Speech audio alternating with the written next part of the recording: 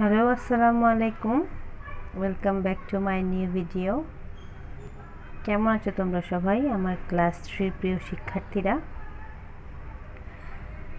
তোমাদের সবাইকে বিজ্ঞান ক্লাসে স্বাগতম। আমি জান্নাতুল ফেরদোস, সহকারী শিক্ষিকা ক্যামরান স্কুল অ্যান্ড কলেজ। এই পাঠটি তোমাদের কাছে ক্যামরান স্কুল অ্যান্ড কলেজের পক্ষ থেকে উপস্থাপিত হচ্ছে। তো চলো আমরা আমাদের পড়া এখন শুরু করি। এই অধ্যায়টি হচ্ছে পদার্থ।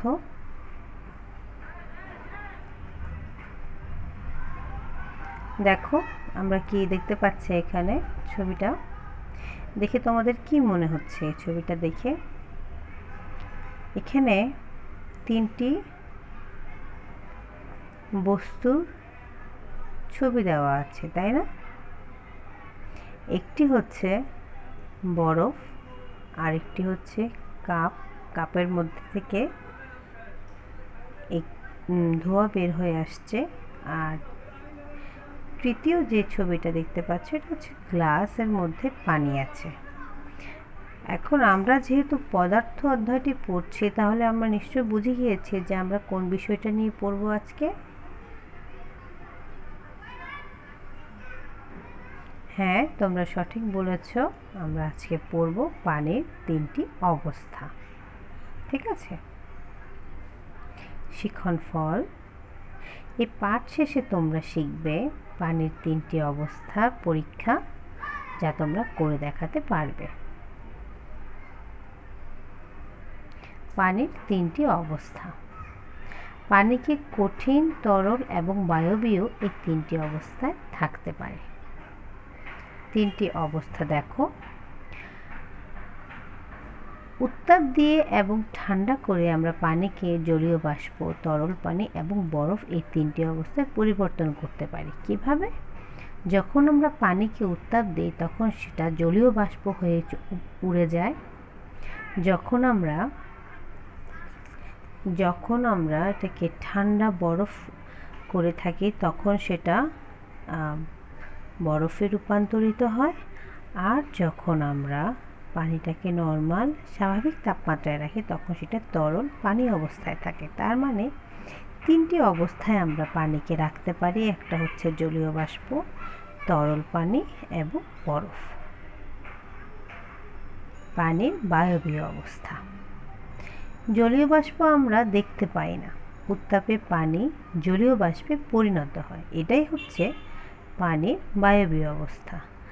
তার মানে আমরা যদি পানি ফুটাই বা কখনো দেখতে পাচ্ছি পানিটি উত্তাপে গরম হয়ে গেছে এবং সেটা থেকে যে ধোঁয়াটা আমরা দেখতে পাচ্ছি বা মাঝে মাঝে দেখতে পাই, মাঝে মাঝে আমরা দেখতে পাই না, এই যে জলীয় বাষ্পে পরিণত হওয়াটাই হচ্ছে পানির বায়বীয় অবস্থা।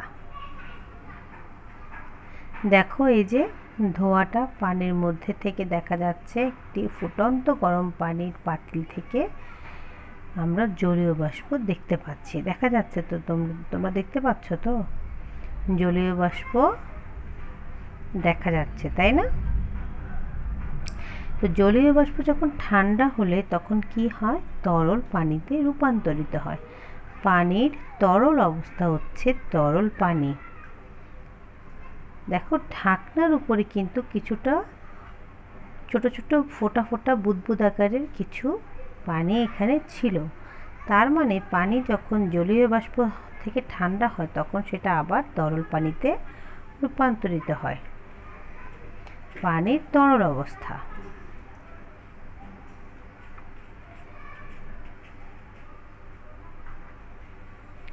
এর মানে আমরা কি বুঝতে পারছি? পানি যখন বাষ্প হয়ে উপরে উড়ে যায়, এবং সেটা যখন ঠান্ডা হয়, তখন আবার তরল পানি রূপে রূপান্তরিত হয়। এর মানে জলীয় বাষ্প যখন ঠান্ডা হয়, তখন তরল পানিতে পরিণত হয়, এবং পানির তরল অবস্থা হচ্ছে তরল পানি। ছবিটা তোমরা লক্ষ্য করো, শিক্ষার্থীরা।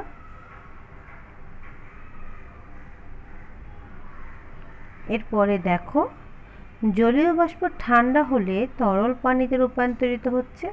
আবার পানির তরল, যখন পানির তরল অবস্থা হচ্ছে, তখন কি হচ্ছে? তরল পানি হয়ে যাচ্ছে। আবার যখন উত্তাপ পেয়ে পানি জলীয় বাষ্প হয়ে যায়, সেই উত্তাপ হওয়া পানি আবার আবার আমাদের কাছে নর্ম স্বাভাবিক তাপমাত্রা যখন আসে, তখন তরল পানিতে রূপান্তরিত হয়। ঠিক আছে? এবার পানির তরল অবস্থার ছবিটা দেখো। তরল পানি আমরা পান করি, তরল পানি নর্ম স্বাভাবিক তাপমাত্রায় পুকুরে, নদীতে, সাগরে, খালে, বিলে থাকে এবং সে পানিতে আমরা সাঁতার কাটি। হ্যাঁ পানির তরল অবস্থায় সেটা দিয়ে আমরা ধোয়া মোছা করি। পানির কঠিন অবস্থা। বরফ হচ্ছে পানির কঠিন অবস্থা। এখন আমরা আমাদের পাঠ্য বইয়ে চলে যাব এবং পাঠ্য বইয়ের উনিশ পৃষ্ঠা আমরা খুব আস্তে আস্তে এবং মাঝে মাঝে খুব জোরে জোরে পড়ব নিজে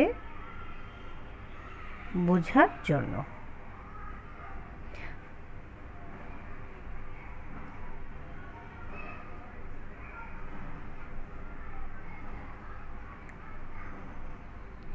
মূল্যায়ন পানিকে তাপে ফোটালে কিসে পরিণত হয়? আবার বাষ্প থেকে কি তৈরি হয়? বরফকে পানি, কীভাবে পানিতে পরিণত করা যায়? পাঠ্য বইয়ের আঠারো পৃষ্ঠার পরীক্ষাটি করে তার ফলাফল ছকে লিপিবদ্ধ করো। বাড়ির কাজ এক খণ্ড বরফ ফ্রিজ থেকে বের করে রেখে দিলে কি হবে?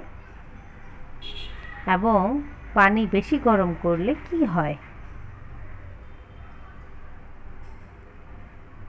আমাদের ক্লাস আজকে এখানেই সমাপ্ত করতে হচ্ছে। তোমাদের সবাইকে ধন্যবাদ। তোমরা অবশ্যই কোনো সময় পড়া বুঝতে সমস্যা হলে আমাকে জিজ্ঞেস করবে। আমি আশা করছি তোমরা বুঝতে পেরেছ। আমরা আজকে এখানে এখানে পড়া শেষ করছি। আল্লাহ হাফেজ।